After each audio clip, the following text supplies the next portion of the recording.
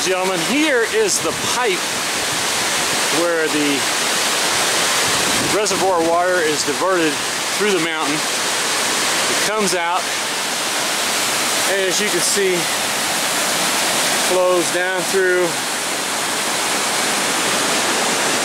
this wonderful little place. And just give you a little reference and show you the rock that I'm standing on, man. This thing is not the safest place to be walking, but I'm gonna do it anyway.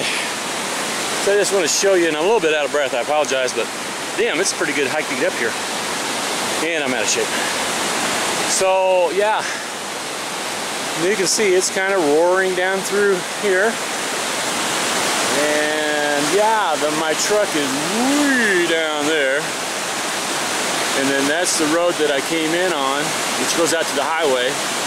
Got about five miles south of Moab, maybe a little further, maybe about six or seven miles south of Moab to get to Ken's Lake, which you can barely see down there.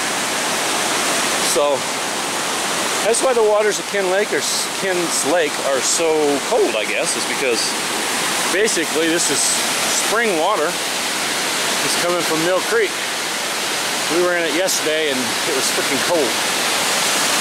Very cold, but it's also nice and clear. So if you're ever out to Moab, go just about six miles south on the main highway and you'll see a little sign for Ken's Lake.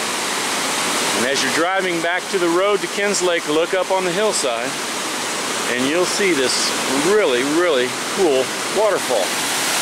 And uh, don't miss it because these are the little things that I don't think a lot of people take the time to come and check out.